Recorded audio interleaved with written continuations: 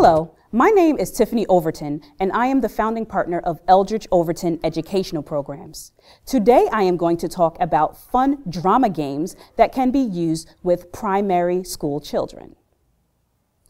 One fun activity is called Waiting for the Bus.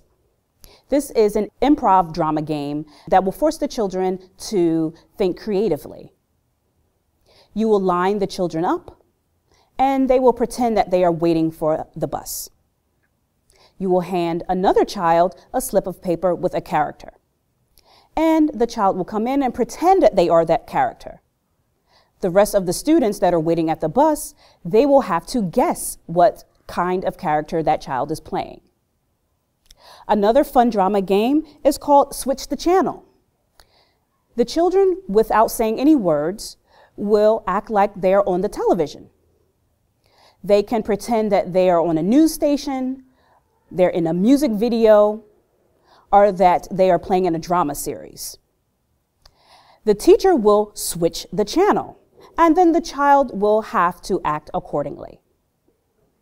Again, the students will try to guess what kind of show that they are watching on the television.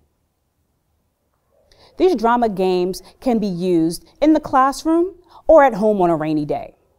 It fosters creativity and critical thinking as well. I hope that you have found these ideas useful. Again, my name is Tiffany Overton. I am the founding partner of Eldridge Overton Educational Programs, and I thank you for watching.